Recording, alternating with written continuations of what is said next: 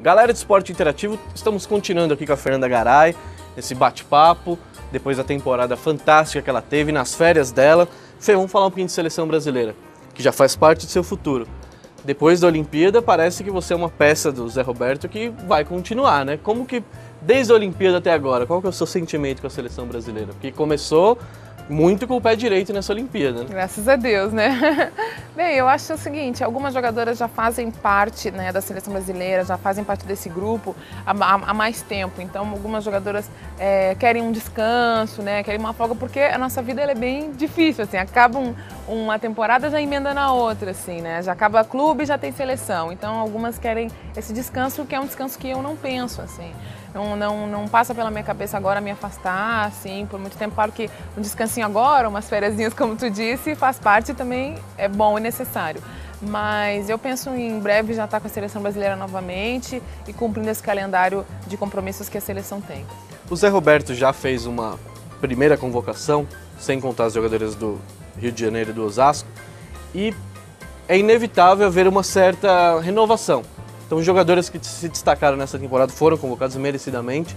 Então, você acha que o projeto para 2016 é manter a espinha dorsal da equipe, mas vai haver uma renovação natural? Eu acho sim, certamente, né? Eu acho que essa renovação ela é positiva, né? Ela traz competição, ela traz é, a proximidade, né? Que às vezes, se tu, se, se tu foca só né, num, num, num grupo, se tu fecha muito a equipe, tu fica limitado, né? Eu acho que a preocupação do Zé é aproximar cada vez mais, é expandir o grupo, né? É dar oportunidade a todo mundo, para todo mundo mostrar o seu talento e também para criar essa, essa rivalidade, essa disputa, né? Eu acho que a seleção brasileira ganha com isso. Fê, vamos voltar um pouquinho nas Olimpíadas, que é um momento especial para você, para todos os jogadores e para todos os brasileiros.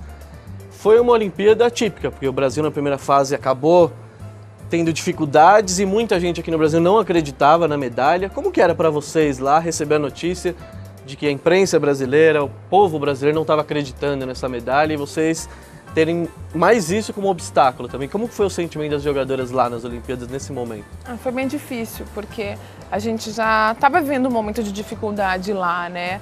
A dificuldade de a gente estar tá treinando muito bem, da gente estar tá bem preparado, da gente estar tá confiante e não conseguir colocar isso em prática no jogo, já era uma grande dificuldade. A gente já tinha um problema ali, né? Então acho que é, quando a gente soube, né, que muita gente não acreditava, nos entristeceu, mas também nos motivou, né? Porque a gente sabia que só dependia daquele grupo que estava lá presente, né? Aquelas pessoas que estavam lá diretamente envolvidas, as jogadoras da comissão técnica, e que a gente, a gente tinha trabalhado muito para para voltar para casa antes da hora, né?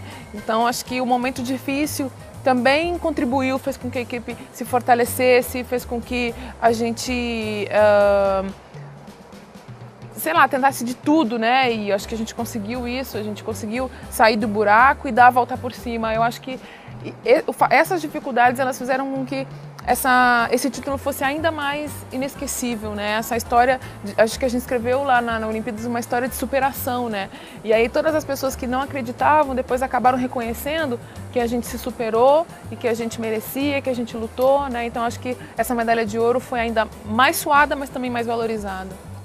Galera, foi mais um pedacinho desse bate-papo com a Fernanda Garay, campeã olímpica melhor atacante da Superliga, mas a terceira parte você vai assistir amanhã, então não perca.